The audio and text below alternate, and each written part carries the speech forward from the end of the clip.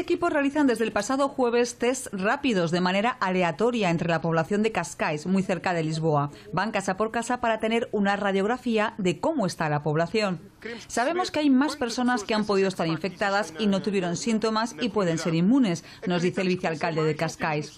Quieren llegar a las 400 muestras semanales durante los dos o tres próximos meses. Son test sencillos, en 10 minutos se sabe el resultado. Con una gota de sangre y la muestra de suero, el test nos dice si la persona ha generado anticuerpos. Al contrario de los test diagnóstico, este tipo de test solo permite identificar los anticuerpos que habría generado una persona si tuviera presente el virus. Es decir, que este tipo de test puede haber también falsos negativos. Hay un margen de error del 3%, pero no son datos que vayan a contar en el registro oficial. Se trata de una investigación que incorpora también una encuesta con preguntas como ¿qué ha cambiado en nuestras rutinas? Proyectos así ayudan a acabar con el COVID. Vamos, creo, vamos por el buen camino.